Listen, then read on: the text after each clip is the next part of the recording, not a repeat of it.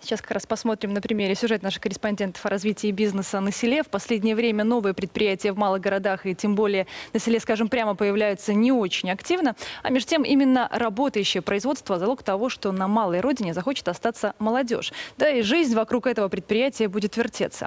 Выгодно станет открывать те же небольшие частные магазины, мастерские, кафе, мини-ателье, пекарни. В общем, развивать тот самый семейный бизнес, о котором мы пока больше слышим. Наш корреспондент Светлана Лукинюк встретилась с предприятием предпринимателями, которые уверены, работать вдалеке от Минской кольцевой можно, хотя порой приходится сталкиваться с непонятными требованиями контролеров. У меня машина сломалась прямо вот здесь, в этом районе. Я случайно зашел сюда попить чай. Не иначе, как судьба. Это было 4 года назад. В целом производству лет 15. Но до того, как у его, у прежнего владельца выкупил Владимир, техника попросту простаивала. Это Слуцкий район. В округе не больше 10 деревень, не только две крупные. На всей этой территории работают сегодня только два небольших предприятия. Одно ближе к городу по производству окон, а второе в лесу, где делают и фасуют древесный уголь. Владимир в бизнесе 17 лет. Сейчас работает по упрощенной системе. Платит 5% от выручки. Его товар с колес уходит в торговлю. Мощности позволяют выпускать до 80 тысяч тонн. В топку идет сухая или больная древесина и получается уголь. Наш товар практически не имеет конкуренции.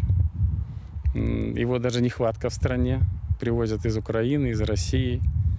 Хотя, если бы чуть-чуть поддержки таким предприятиям, Э, мы достойную долю даже импортозамещения бы составляли. Работают 11 человек, многие из Слуцка. Владелец помогает с подвозом. В день наматывает более 350 километров. Живет-то в Минске, но считает главное желание работать. А расстояние здесь точно не помеха.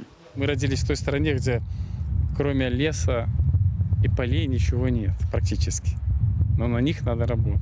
В планах у предпринимателя задержаться здесь надолго. Уже купили скважину, планируют наладить и производство воды. Хотят приобрести пилораму и трактор для подвоза дерева. За кредитной помощью обратились в Банк развития.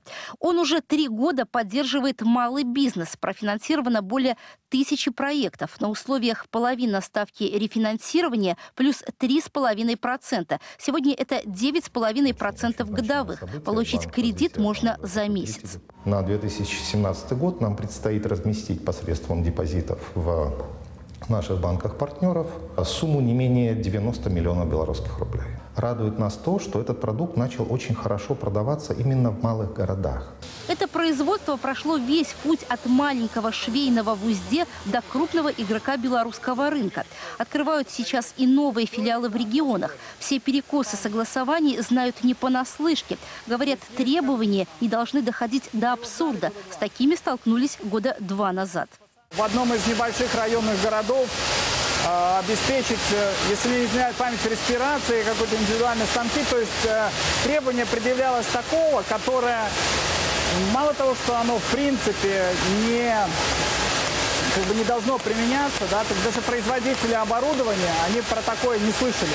Тогда пришлось доказывать, что это технически невозможно. Выиграли, но потрачены и нервы, и время. Тормозят, кстати, развитие и многочисленные согласования проектов по строительству. А вот приходов контролеров становится все меньше, о чем гласят страницы журнала «Проверок». Здесь сегодня уже больше пустых строк. Бизнес как бы перестал быть плохим мальчиком, которого надо постоянно контролировать и проверять. Это доказывают и те, кто работает на земле. 13 лет назад Дмитрий создал козью ферму. Сначала хотели просто сдавать молоко переработчикам, но крупным эта ниша не интересна, а мелких попросту нет. Тогда весь процесс взяли в свои руки. Четыре года назад построили собственный цех. Учились у сыроделов в Латвии и Польше, но горящие глаза и желание по приезду сделать то же самое на родине охладили белорусские санпины. Под их зорким оком не только качество качество конечного продукта, но и весь процесс. Чтобы получить разрешение производить продукт для продажи в магазинах, ты должен свое производство сделать на расстоянии 300 метров от фермы, 50 метров от жилья. Даже если оно будет производить, там, ну, условно, 20 килограмм сыра в день. Желание работать взяло верх, хотя пришлось и перестраиваться, и дополнительно людей на производство брать. Ведь остаться хотели не на день-два. Сегодня же здесь делают козий сыр, молоко и йогурты. Площадь 100 гектаров и 800 коз. Поголовье уже планируют удвоить, параллельно решая еще одну задачу – работать на равных с торговыми сетями. Там ты ниже цену должен дать, там ты должен что-то заплатить дополнительно за рекламу или за то, что э, у тебя шире полка будет, например, э, и так далее. Как одно из решений этой проблемы предлагает Министерство антимонопольного регулирования и торговли. Без кредитов и капитала наладить свое дело, будь то парикмахерская, кафе, мастерская или лавка в селах и небольших городах до 10 тысяч населения.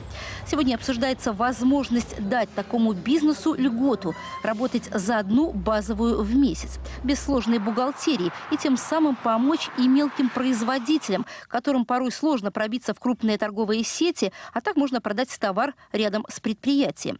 Сегодня по стране к тому же полтора миллиона квадратов свободных площадей.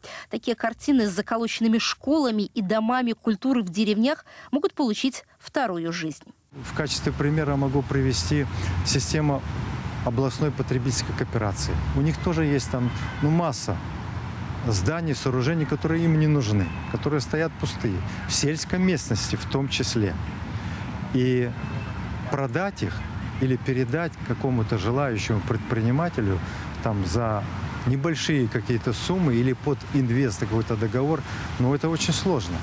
Так, свой первый магазин в райцентре Николай Лебедев открыл 15 лет назад. Торговал стройматериалами. Недавно у него появился и продуктовый, и 7 новых рабочих мест. Точка популярна у местных жителей. За продуктами приезжают даже из соседних деревень мелкому и среднему бизнесу сейчас тяжело, потому что большие налогообложения и тяжело какой-то оборот. Мы выживаем за счет того, что на время летнего сезона к нам приезжают русские, меньшане отдыхать, дачи здесь, поэтому покупательская способность увеличится как и в продовольственном магазине, так и в строительных материалах. Я готов открывать еще что-то в бизнесе, если будет помогать наши власти. Развитие предпринимательства в малых городах и на селе – это и возможность вырастить свой средний класс, да и тот самый семейный бизнес, дать людям работу рядом с домом, чтобы молодежь оставалась. Село, в общем и целом, по ощущению, оно стареет. Если же человек приходит в село для того, чтобы создать, для того, чтобы создать здесь рабочие места, занятость, производство, от этого выиграют все. Тем более в планах у правительства довести долю малого бизнеса в стране через три года в валовом внутреннем продукте до 40%. Столько же по цифрам хотят, чтобы было там занятых от всех работающих. В главном эфире Светлана Лукинюк, Дмитрий Титов, Ксения Лебедева и Марина Романовская.